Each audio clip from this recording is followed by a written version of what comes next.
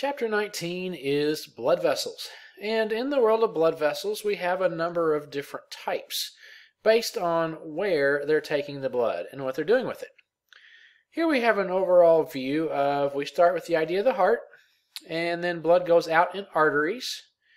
Then it goes through some smaller and smaller vessels ending in capillary beds, then back into veins and back to the body, back to the heart.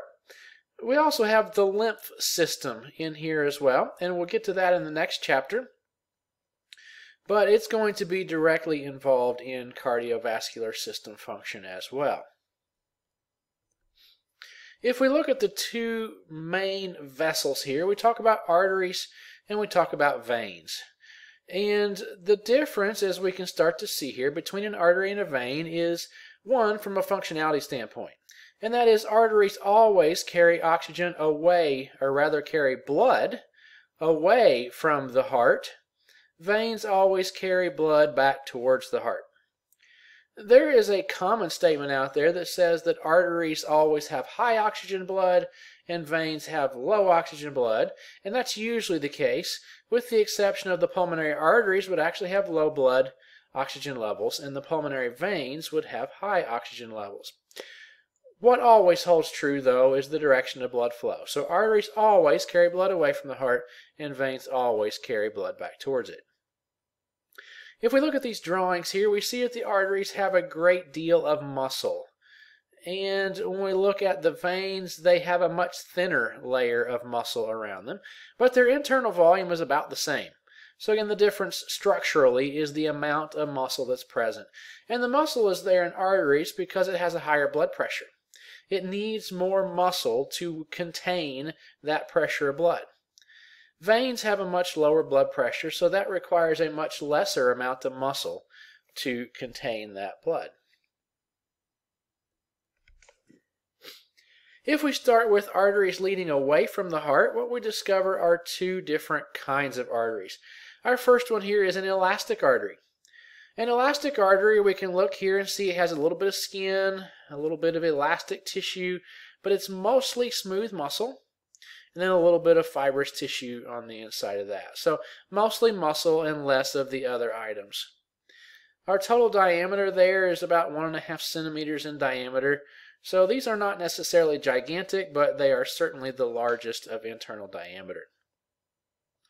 The elastic part of their name comes from, and why they have a significant amount of elastic tissue as well, is that these are the arteries closest to the heart, so they then have the highest blood pressures that they experience. In an elastic artery, it is elastic, so when the heart contracts and pushes blood, the artery stretches. Then when the heart relaxes and refills with blood, the artery constricts back down. So it's very elastic in that it's stretching, it's contracting, it's stretching and contracting to accommodate those dramatic changes in blood pressure.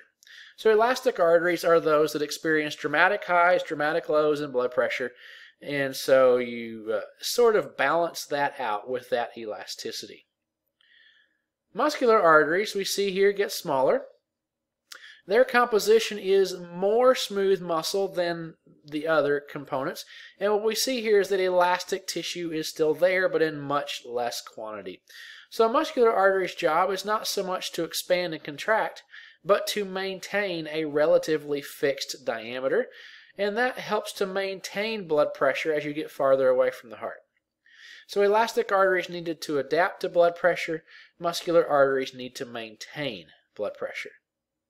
And you do that by being relatively inflexible. Muscular arteries then lead to arterioles. And arterioles are much smaller here. Now we're talking about micrometers instead of centimeters or millimeters.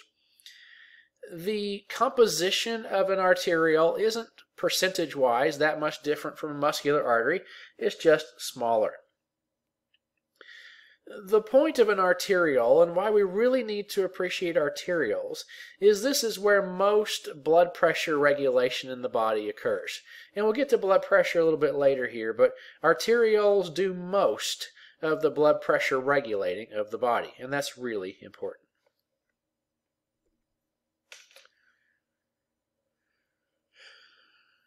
Arterioles connect to capillaries, and capillaries are even smaller than the arterioles were. And here we see a sudden change in composition of what makes it up. We have basically a lining of skin-like material, no elastic tissue, no smooth muscle, and no fibrous tissues because there's very low blood pressure here and we want the walls of the blood vessel to be very thin because these are actually going to be involved in exchange. Exchange of oxygen and carbon dioxide occurs through the capillary. Uh, movement of fluids happens through the capillary wall. Movement of nutrients and waste products happen across the capillary wall. So only having that layer of tissue as a very thin layer there and not, nothing else in terms of elastic and smooth muscle and all that allows for that exchange to more efficiently occur. As blood leaves the capillaries, it's headed towards the venous system. So the venules pick up the blood from capillaries. They're getting a little bit bigger here, and they're starting to add back in some of those other things. So smooth muscle and the fibrous tissue show up here again. Veins, connect to venules. So lots of capillaries entered into a venule, multiple venules entered into a vein, and then veins all go back to the vena cava associated with the heart. Once we get to the vein, we have all four tissue types present again, and we're back in the realm of at least millimeters, and some of the larger veins will get back up into the centimeters again as well. So we're back up to the relative size that we saw in the arterioles. if we look at what's called a capillary bed, and that is the capillaries you would find between an arteriole and the associated venule. So in the first example here, the sphincters are open. And what that means is that when blood comes out of the arteriole into the capillary bed, all of the capillaries get blood flow. This then oxygenates all of that tissue. It provides nutrients to all of that tissue and then provides trash takeaway service as well in the form of carbon dioxide and waste products. In some cases, though, you don't want to provide blood flow through that entire capillary bed, and in that case, those sphincters would close, meaning that blood shoots from the arteriole straight through the middle to a venule and skips the capillary bed altogether. Under what circumstances might you find that to be the case? And why would you want that to happen? One possibility might be in the skin. And the skin's job is to do a number of things, but one of those is to assist with temperature regulation. So if the body is getting a little bit too cold, and you're sending lots of warm blood to all of the capillary beds of the skin, what you're doing is you're losing a lot of heat. So if a person's body temperature drops below a certain point, many of the capillary beds in the skin will close off, like we see in the scenario B here, and send that blood back into the system to the core of the body, saying the skin can do without as much of this blood right now. Let's keep this heat in the core of the body. The reverse would become true if the body became too warm. Certainly all of the sphincters would open in the skin capillary beds, pumping as much hot blood close to the surface of the body as possible to lose as much heat as possible. So temperature regulation is one big reason why sphincters would open or close in a capillary bed. Another thing that can cause sphincters to close in capillary beds, especially the skin, is the idea of shock. And you'll read all about different kinds of shock later in the chapter in your reading assignment. But the effect is that many of the capillary beds get shut off. The thought there is to divert blood to the core of the body and keep things like the heart and lungs and liver and things like that supplied with blood, saying again, the skin can make do right now with less blood. The muscles can make do with a little bit less blood right now, but the heart, the liver, things like that really can't. So this is to divert blood to different parts of the body as part of an emergency response. This then provides an interesting opportunity to do a quick and dirty field test for shock. One thing you can do is assess the patient's mental condition. Do they appear to be aware of what's going on? Are they engaging in rational thought processes? Are they making sense? If the answer is no to any of those questions, that would suggest shock. One thing you can do, though, that is not subjective in any form or fashion is called a capillary refill test. So what needs to happen for a capillary refill test is to squeeze the blood out of the capillary bed and then see how long it takes for that bed to refill. If the sphincters are open, fully supplying the capillary bed with blood, that suggests probably not a whole lot of shock going on there. But if there's a lot of sphincter closing, in other words, a lot of diversion of blood away from capillary beds, that suggests that shock might in fact be what's happening. So a quick and dirty version of that is to find a part of the body, and the tip of the finger is a good place for this. So just do this real quick. Take a tip of one of your fingers and squeeze it. Then let off and count how long it takes that tissue at the tip of the finger to return to its normal color. So squeezing out the blood will make it pale, and releasing the pressure allows the capillary beds to refill. And if it takes more than two to three seconds for that capillary bed to refill, that suggests some degree of sphincter closing, and the capillary bed is not refilling at the rate you would like. That is a further indicator of perhaps shock. Doesn't have to be, it could just be your hands are cold and so you have poor circulation there right now as a temperature regulation mechanism. But it can also be along with those other indicators, uh, possibly some evidence of shock. And shock probably is a bigger killer than most other medical problems, so it's something that should be taken very seriously. When we look at all these different vessels throughout the body and where the blood is found, we find that most of the blood in the body is found in the veins and venules, so about 60%. This is not surprising because the veins and venules experience the lowest blood pressure of the body. They are the farthest away from the heart. So there would be more pooling of blood there than we would find in the blood vessels that were closer to the heart, like the arteries and the pulmonary blood vessels.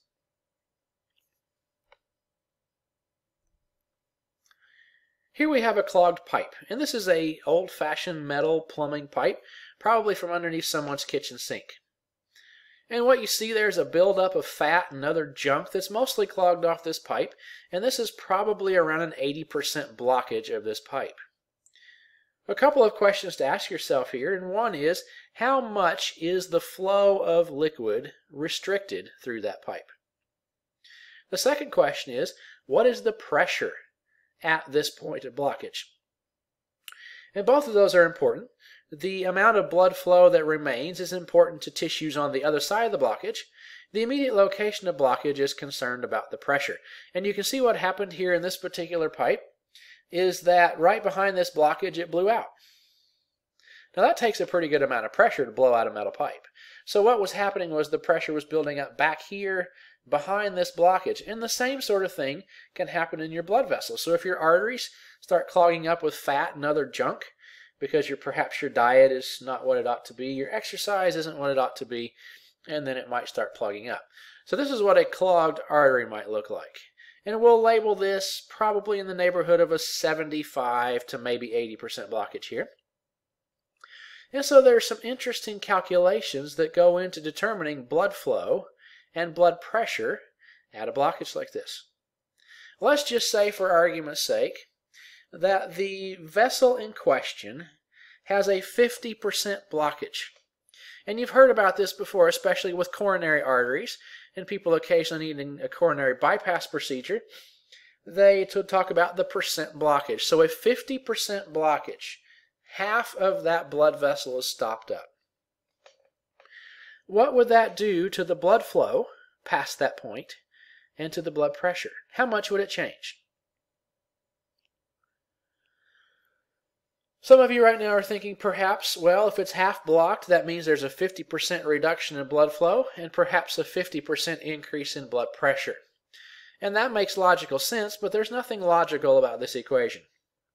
Don't ask me to explain the math, but the folks who have worked out the math on blocking off tubular structures like this, we discover that the blood flow for a 50% blockage is reduced to 1 16th the blood flow that it was before, and the blood pressure at that location is 16 times higher than it was before. So there's a 16 times change in pressure and volume with a 50% blockage.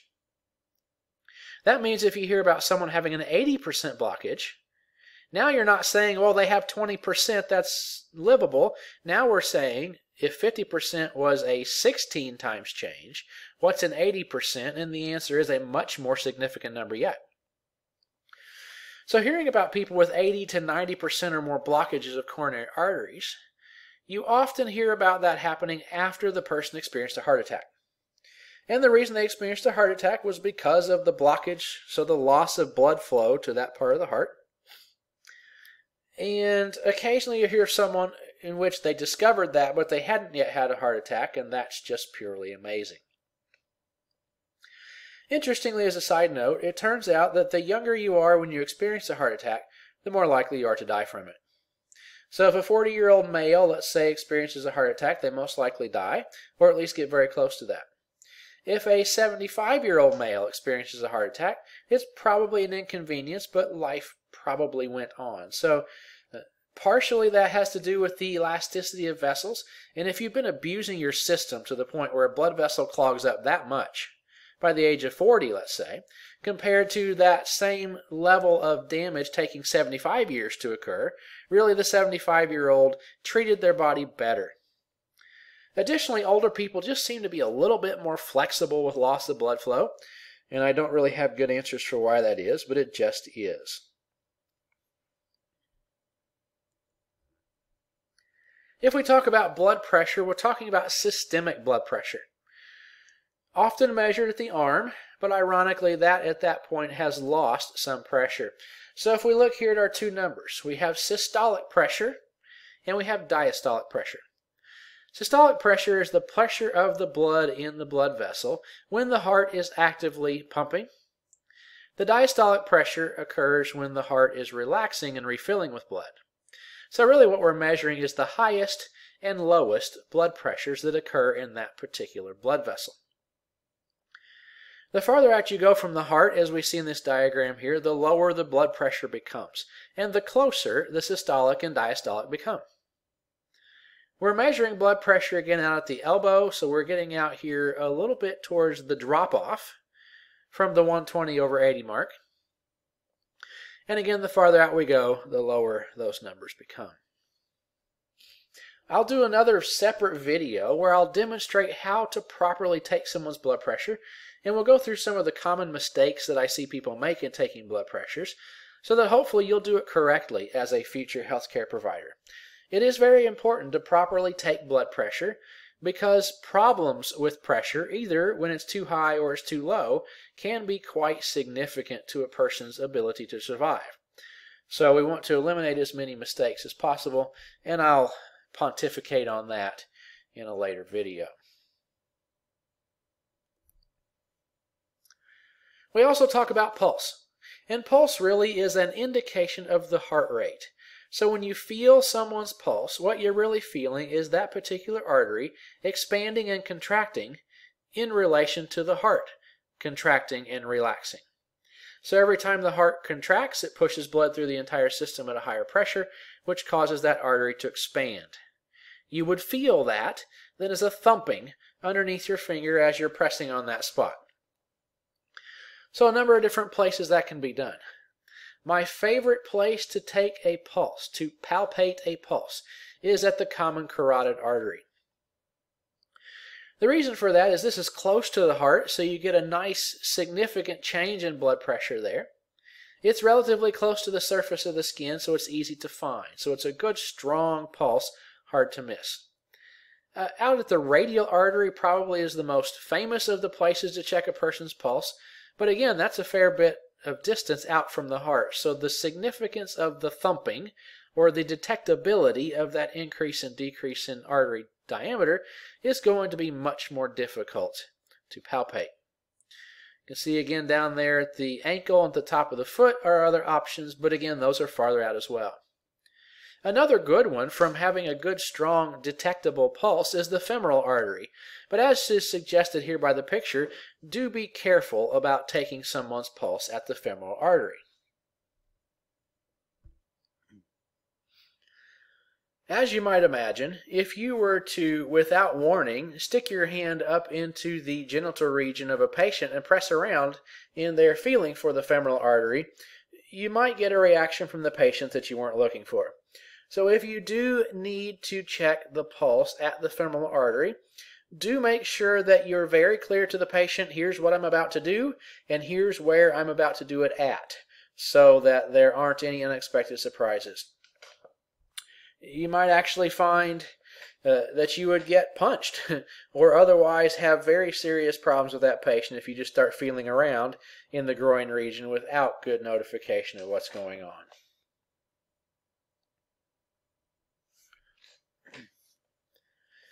There's more than one pump in the body moving blood through it.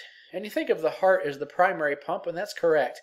But especially when you get to the veins in the legs, this is where we experience the lower blood pressures in the body. We experience the greatest effect of gravity on that blood. So if the heart pumps and then relaxes, then pumps again, gravity is going to try to take that blood and, and it goes forward when the heart contracts then when the heart relaxes, gravity tries to pull that blood right back down where it came from. If that occurred too much, then you would just slosh the blood back and forth in the lower legs, but it would never move forward. So the idea of a skeletal muscle pump is a really wonderful thing. And that is in the legs when those muscles are working, and really throughout the body this helps, but in the legs is the most significant. When those muscles contract and shorten, they actually, as you can see in the picture, squeeze the blood vessel. That helps to push blood forward as well. So you have some local enhancing pumps in the skeletal muscles. Perhaps some of you worked in a factory before, or in really any setting where you're standing around on hard surfaces all day, and you find that your legs start swelling and hurting. That's because gravity is pooling the blood in the legs. If you were moving around, even on that hard surface, for the same amount of time, but moving, the skeletal muscle pumps would help to keep that blood circulated on through the system. We also see here another really handy thing, and that's the presence of venous valves. So just like in the heart, we had valves, and they were designed to make sure blood went forward, but didn't come backwards, we have the same sort of thing in veins. And so as we can see here in the picture, as blood would go forward, and then the heart would, let's say we pushed it through this valve here, the heart relaxes. Now gravity says go back down, so blood starts to come back down, but then it closes that valve and stopped. Then the next time the heart beats, it pushes it out further to the next valve, then it stops. So it's moving blood forward, stop, forward, stop, forward, stop, which is better than forwards, backwards, forwards, backwards. So valves plus skeletal muscle contraction are really useful things to help the blood, the heart, especially again in the legs. Varicose veins are a problem with valves not sealing like they're supposed to. So those valves are supposed to come together and close nice and tight. But if one or more of them pop open backwards, so they failed to seal for whatever reason, then blood can actually pool because the valves don't then prevent reverse flow. And so varicose veins are basically swollen veins in which the valves have failed. You would most commonly see this perhaps in someone with a sedentary lifestyle that wouldn't have a lot of skeletal muscle contraction going on to help with blood flow, so too much pressure on the veins. You might see this happen with very overweight people. As the blood tries to exit the legs and get back into the body, it uh, sort of gets blocked off with blood uh, flow not able to go past the fat deposits. Pregnancy would be a temporary induction of this, perhaps. Uh, sitting a lot would be a problem here because you would be bent at the knee which causes the blood vessels going through the knee to be somewhat kinked off and constricted. So the more physically active a person is, the less overweight they are, probably the better off you're going to be from a vein health perspective. Solutions for varicose veins, and they can be quite painful because the vein is being stretched quite a bit. They can also be quite unsightly, popping up under the skin. They can be coiled and kinked and twisted and, and be all kinds of cosmetically unappealing. So the solution can be a number of things, but one thing they might do is a procedure called venous closure. And that's going to involve some vein stripping. In other words, running a device through that vessel and then pulling it back out. And as they pull it back out, it grabs the valves and pops them back into position again. Hopefully then they would close in an appropriate way after they're returned to their proper position. Some local surgeons perform that procedure, and they like to advertise that within two days or so, you'll be back to your normal activity levels again. I don't know if it's quite that perfect, but at least it would certainly improve the situation. Some veins might actually just be surgically removed. Sometimes it's easier to take them out than it is to try to get everything straightened back out inside. Better yet, though, is just be physically active, physically healthy, avoid being overweight, avoid sitting too much, and you probably won't have much issue with this. We've been talking about blood pressure off and on here, so there are a couple of things that impact blood pressure. And those are across the top here stroke volume and heart rate. Remember, those were part of the cardiac output formula.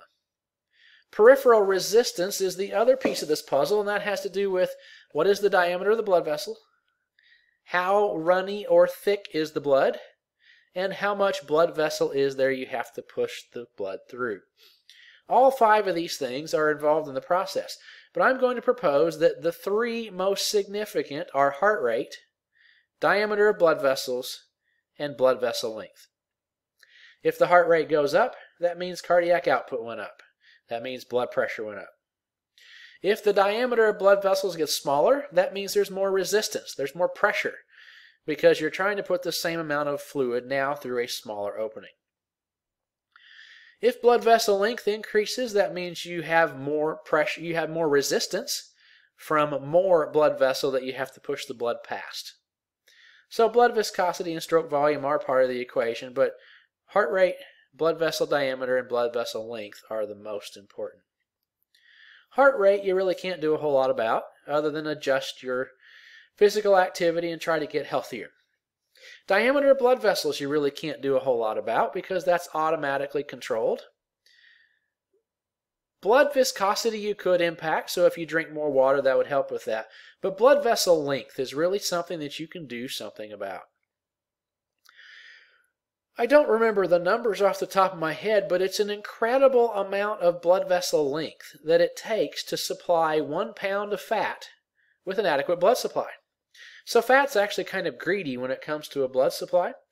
So for every pound of fat you lose, you eliminate hundreds and hundreds of feet of blood vessels.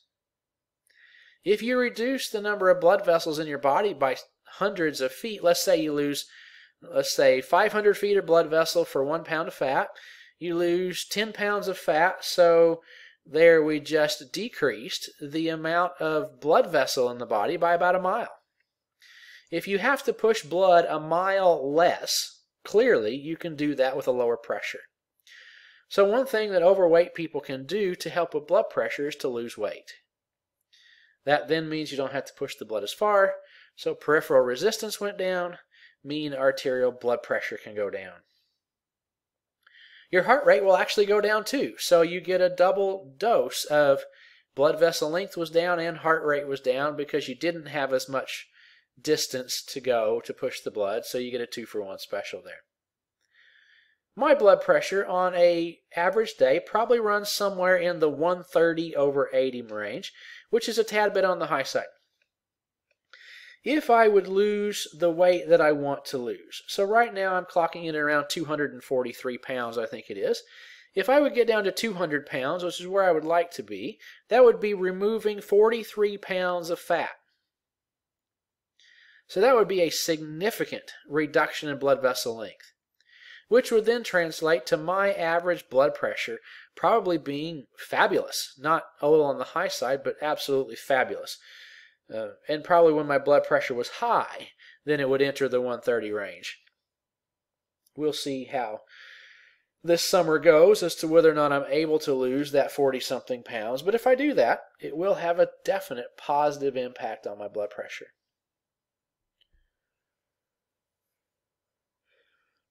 A number of different hormones are involved in regulating blood pressure.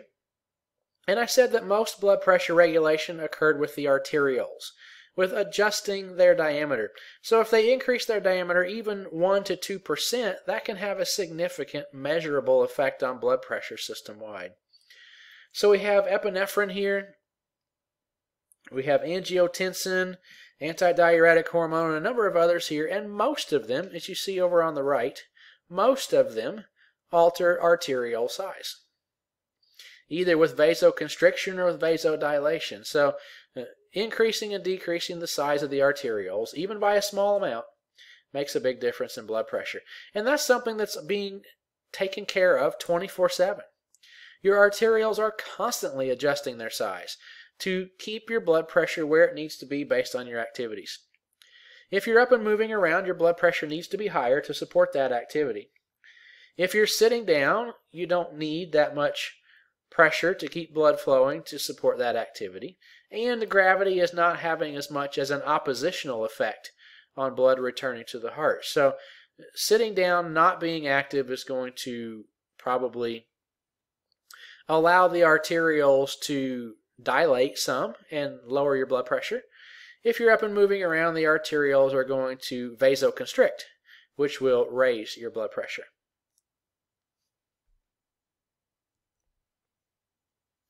If we look at flow of blood through the body during different activities, so at rest, let's say on the left here, total blood flow 5,800 milliliters per minute. So just under 6,000 milliliters of blood being circulated per minute at rest. Of that, the brain gets 750, the heart 250, skeletal muscles 1200, and you can read. If we compare that to active strenuous exercise, we now see a total blood flow of approaching 18,000 milliliters per minute. So we've about tripled the blood flow through the body. And if we compare the brain, the brain didn't really change from at rest to exercise levels because the brain doesn't really change its activity level that much when you're active versus not being active. So its consumption of oxygen stays pretty much the same. The heart, though, because it's pumping a lot more blood, also approximately triples its uh, oxygen needs and its blood supply.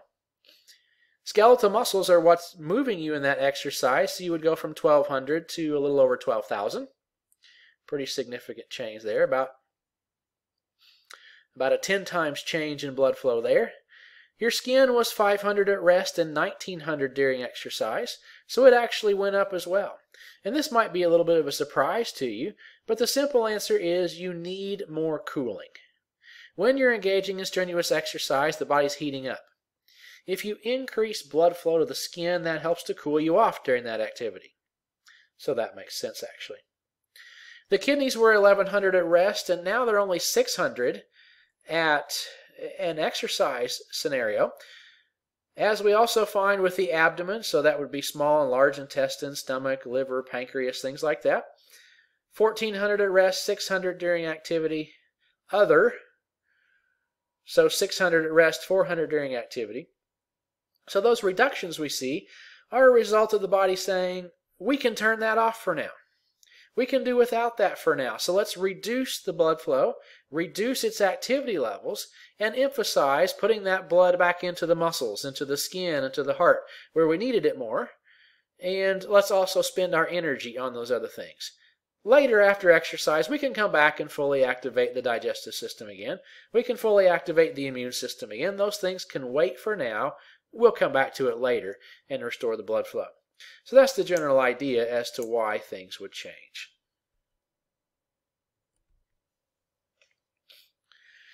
I'm not going to go into great detail here on the vasodilators and the vasoconstrictors, but do understand that, again, we looked at that chart and there are a number of other things that impact vasodilation or vasoconstriction. Metabolic changes, like changes in oxygen and carbon dioxide levels, will do have uh, effects on vasodilation specifically. Uh, we can have hormonal effects. Uh, so lots of different things involved in the process here. Just understand that it's a complicated system.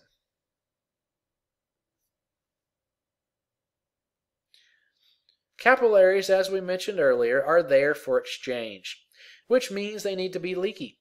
And when you read about the different kinds of capillaries in your reading assignment, you would have read about fenestrated capillaries and continuous capillaries, and, and they had different levels of leakiness.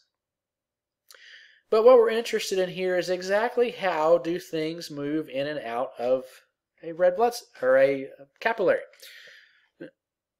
So if we look at the wall of the capillary here, we see a couple of options. And option one is diffusion. So if it is a lipid-soluble something, like a hormone for example, that can easily diffuse across a lipid-based membrane. If you're not lipid-based, though, you have to use some other route. So option two is movement through an intercellular cleft. This is basically a gap between the cells making up the membrane here. So if the cells are loosely assembled, things could slide through there. Option three is to move through a fenestration. That was one of those little pores, those little openings there. So some things, again, these are mostly water-soluble things, will simply go through the pore. Option four is vesicular transport.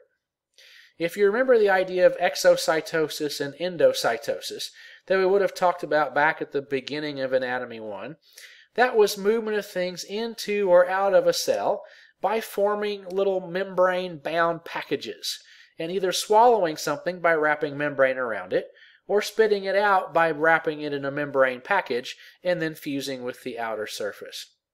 So that's also an option for moving things in and out of capillaries as well.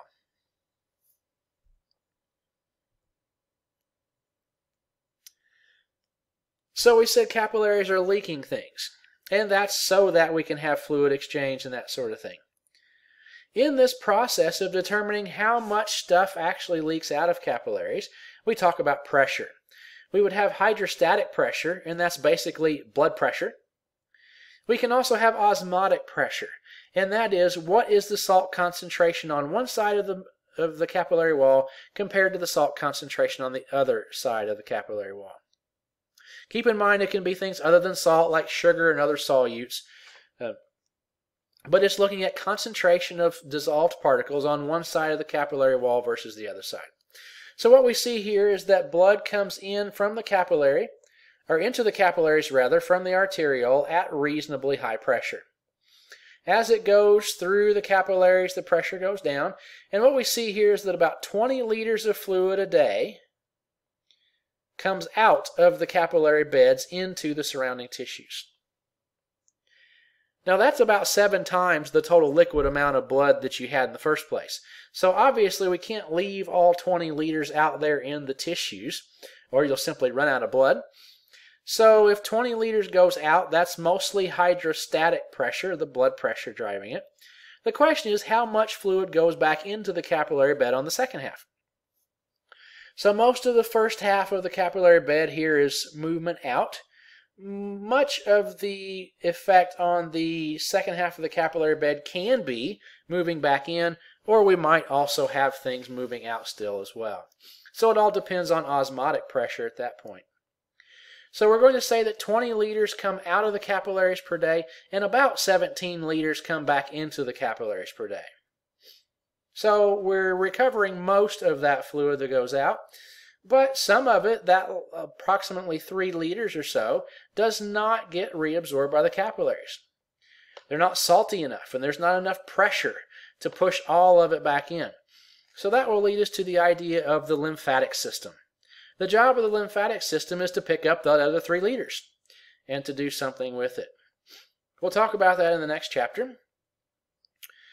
But for now, we'll just say the lymphatic system takes care of the fluid that the capillary beds did not recapture themselves. Here we have an example of pretty serious edema. Edema is swelling, and in this case this is going to be called pitting edema because what you do in the first picture there is squeeze that area, just like you're doing a capillary refill test, and what that does is it squeezes fluid out of that particular area of tissue. So what's going on here is that fluid is coming out of the capillary beds, but it's not being picked up at the same rate as being dumped out. So we have a net accumulation of fluid in the tissues surrounding the blood vessels, so squeezing it will press the fluid out of that particular section of tissue. And after you release, we see on the right here, just like with the capillary refill test of how long did it take to refill the capillaries, here we're looking at how long does it take for that fluid to redistribute itself throughout that tissue. And when it leaves a visible pit behind after you remove your finger, that means the pressure in there is so high that it's not really moving easily. And so it takes a while for that swelling to redistribute itself. And that tells you at that point you've got something that you really need to work with. This is not mild inflammation. This is ser a serious problem that can actually interfere with blood flow. And if you let this sort of thing go too long, you can have weeping of the skin when fluid actually starts sort of oozing out of the skin because the pressure inside is so high. We also start to see loss of proper blood flow. So if you let this sort of problem go too long and the blood flow stops too much, you can have the onset of tissue damage and gangrene. So you might actually have a person lose a foot because it was too swollen for too long and it didn't get a good blood supply and it died. That is quite a serious scenario. And this is something that diabetics especially have a lot of problems with uh, because diabetics have kidneys that don't do a good job of regulating the system hormonally.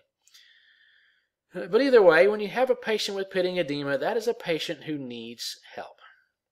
Sometimes you might utilize things like compression socks that helps to prevent the tissue from swelling too much by increasing external pressures. You might have the patient elevate their feet so gravity helps pull fluid out rather than trying to keep the fluid in. Perhaps the person needs to cut back on the salt content of their diet. Some people's bodies don't do a good job of getting rid of salt and it can lead to this sort of problem. So in that sort of scenario, look at elevating feet, increase pressure, decrease salt intake in the body, and that will probably provide some degree of benefit. Doctors often prescribe as well diuretic medications to tell the kidneys to dump fluid from the body, and it will then suck the fluid out of, in this case, the feet and redistribute throughout the rest of the body. That's really treating a symptom rather than figuring out the underlying cause, though, so I wouldn't necessarily consider that fixing the problem, but simply kicking the can a little further down the road.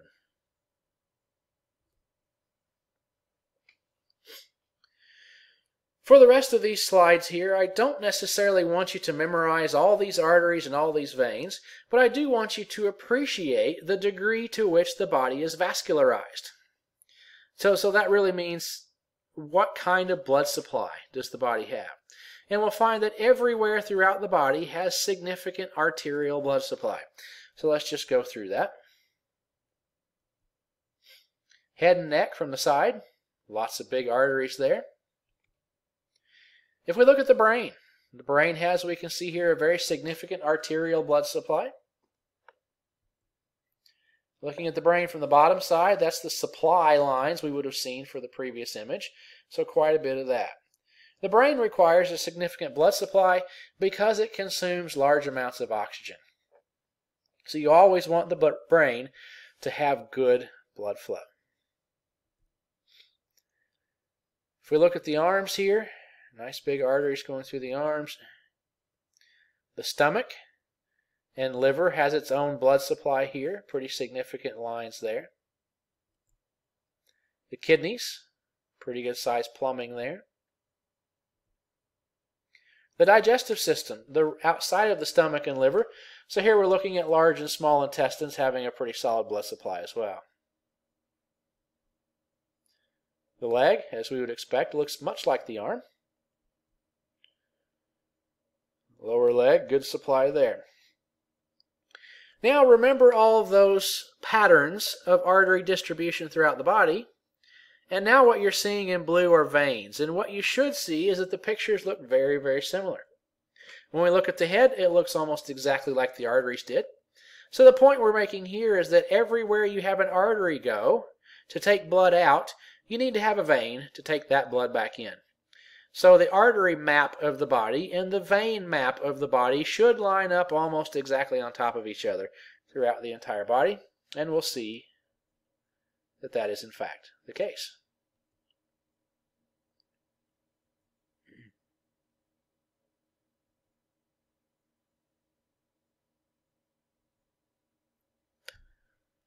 Hopefully that was very informative, and you now know a lot more than you did before. I'll see you next time.